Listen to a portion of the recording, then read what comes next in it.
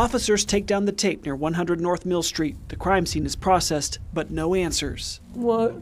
Killed him first and then set the house on fire. I mean, it's hard. That's Zeta Rodriguez lives only a few minutes from the scene. She can't imagine why anyone would hurt her family. Relatives say Jasmine, daughter Amerikha, and son Jean Carlos Rodriguez were all found dead inside the home. Firefighters saw smoke coming from the house on a return trip from another call. Much of the home is undamaged. Relatives say they got together regularly with the family. they loved spending the night. My nephew loved his grandpa, which is my dad. He loved him with everything. That was his boy. Rodriguez says that children had bright futures. Her nephew wanted to serve in the military. He would tell me like, I'm gonna take care of my mom and my sisters.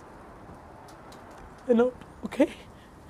But he would want to be the man of the house. Tonight, the family wants justice. They hope anyone with information will call police. If anyone knows anything, to speak up, help us. And tonight, the family has set up a GoFundMe account to pay for all three family members' funeral services. If you'd like to help, I post the link on my KMBC Facebook page. In Kansas City, Kansas, Brian Johnson, KMBC 9 News.